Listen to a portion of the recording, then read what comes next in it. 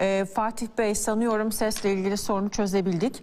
Ee, aynı soruyu Evet. size de yöneltmek isterim. Tekrar hoş geldiniz. Türkiye ne aldı? Rusya ne aldı? Ee, İdlib ana odağıyla izliyorduk biz bu Soçi zirvesini ama mesele sadece İdlib değil. Suriye genelinde şekillenen dinamiklerde e, Soçi zirvesinden sonra ne noktada Türkiye-Rusya ilişkileri? Öncelikle teşekkür ederim. Ee, sözlerime Pekin ve Babiroğlu Paşam ile e, doçent Sayın Güneş ve e, Sayın Güller'i de selamlayarak e, başlamak istiyorum. Sağ olun. Teşekkür ediyorum. Ee, şöyle, e, ben şöyle başlayayım. Daha makro düzeyden başlayıp isterseniz e, gelelim e, Suriye sahasına ve özellikle İdlib'e. Ee, Ben bir yerde Pekin Paşa ile e, Sayın Güneş'in e, yaptıkları yorumları birleştirerek bir çerçeve çizeyim. Şimdi e, ortada e, giderek keskinleşen e, üç kutuplu bir stratejik e, rekabet e, meydana geldi. 2014'te Rusya'nın Kırım'a müdahale edip Donbas'taki ayrılıkçı kuvvetleri e, desteklemesi üzerine e, Rusya ile Batı ilişkileri e, son derece gergin bir noktaya doğru e, ilerledi. Bu tabii bunun NATO'ya da yansımaları oldu. 2019 yılında ise Çin büyük ölçüde Batı'nın gündemine geldi. Aslında daha öncesi de var ama daha önceki bir takım stratejik belgelere Amerika'nın bakıldığında bunun ipuçlarını yakalamak mümkündü. E, bu çerçevede e, Sayın Güneş'in yaptığı doğru bir tespit var. Bu tür e, meseleleri değerlendirirken ülkelerin stratejik ve askeri belgelerine ve doktrinlerine bakmakta büyük fayda var. Kendi dış politikanızı çizerken. Şimdi böyle il- ilişkilerin üçlü bir kutup üzerinde gerildiği bir ortamda biz civarımızdaki bölgesel ihtilaflar veya çatışmalarla e, ilgili politikalar e, yürütüyoruz. Şimdi çok kısaca bence daha dış politika yürütürken biz nelere dikkat ederdik veya nelere dikkat edilmesi gerekir? Belki ona e, kısaca değinmekte fayda vardır. Bir kere dış politikanın ana ekseni ulusal çıkarlardır.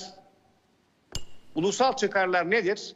Her şeyden önce kendi bölgenizde barış ve istikrar kuşağı yaratmaktır.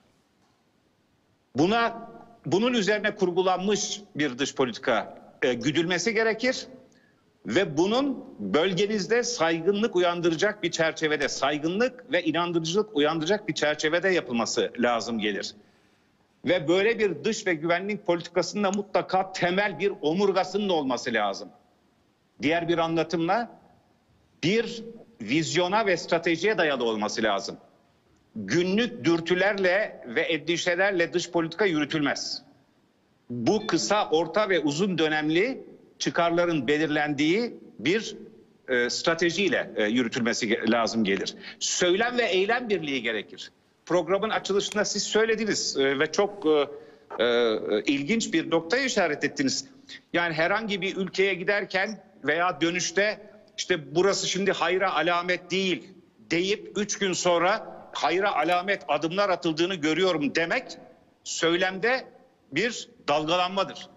Bu bir örnektir. Bunun çok örneği var tabii tabiatıyla. Söylemdeki dalgalanmaya paralel olarak bir de eylemde sallantılar başlarsa o zaman dış politikanın temel parametreleri iyice zayıf hale gelir. Bunlardan kaçınmak gerekir diye düşünüyorum.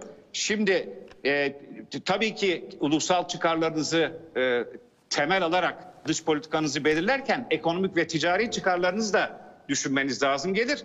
Ve ekonomik ve ticari çıkarlar da sizin etrafınıza yayacağınız barış ve istikrar kuşağıyla ortaya çıkar. Aksi takdirde oradan başlayan ve daha geniş çevreye ulaşan ve özellikle böylesine stratejik rekabetin keskinleştiği bir ortamda böylesine bir kutuplaşmanın e, dünyada olduğu ortamda eğer istikrarsızlıkların e, daha da artmasına yol açacak yolları tercih ederseniz bu doğrudan sizin e, ekonominize ve toplumsal barış ve huzurunuza da olumsuz etkilerde bulunur. Dolayısıyla ilk aşamada ikili ve çok taraflı diplomasiye başvurması lazım gelir. Yani e, arabayı atın önüne sürmemek lazım. Hemen askeri sahaya sürmek doğru değildir. Askeri caydırıcılık diplomasinin bir aracıdır. Şimdi bütün sorunların hallində ortaya çıkıp askeri ileri sürerseniz şunu şunu kastetmiyorum. Caydırıcılığı icra ederken e, askeri güçten yararlanmaz anlamında söylemiyorum bunu. Ama hangi noktada, hangi aşamada ve hangi koşullar altında olacağını önceden belirlenmiş olması gerekir. Benim gördüğüm kadarıyla hatalar burada yapıldı ve biz bölgemizde e, e, normalleşmenin önünü tıkayacak bir takım tercihlerde bulunmaya zorlandık. Bundan da e, kaçınmak icap eder. Gelelim Suriye'ye, İdlib'e. Bakın ben böyle meselelere baktığımda bir genel olarak küresel düzlemdeki tabloyu değerlendirmeye gayret ederim. İkincisi de ilgili devletin e, e, e, stratejik belgelerini okurum, incelerim. Benim formasyon gereği böyle. Şimdi mesela bir demeç daha verildi. Suriye'deki barış e, Türkiye ile Rusya'ya bağlı diye.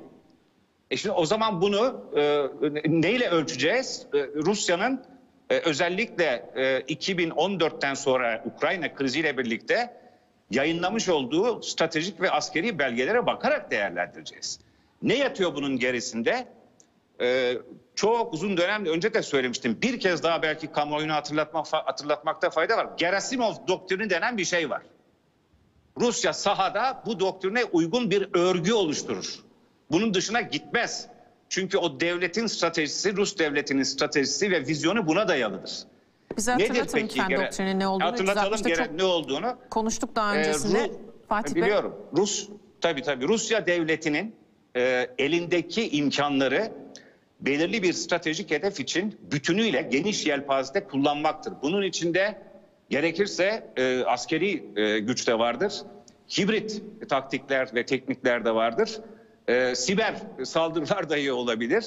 E, dolayısıyla gerek muhasım güçleri e, gerek e, dost ülkeleri bile e, bunun içine yerleştirebilirler.